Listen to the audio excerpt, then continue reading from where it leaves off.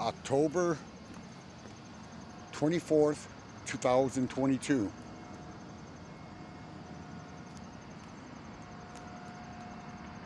Shingle installation. It's done.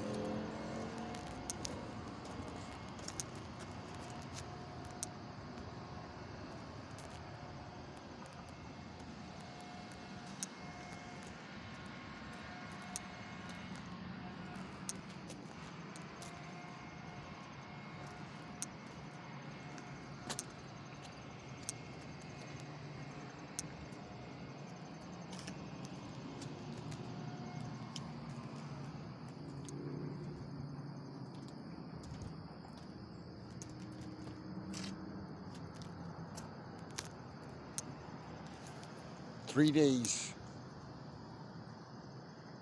on this shingle installation. I just took my sweet time on it. I wasn't in a hurry and it's done.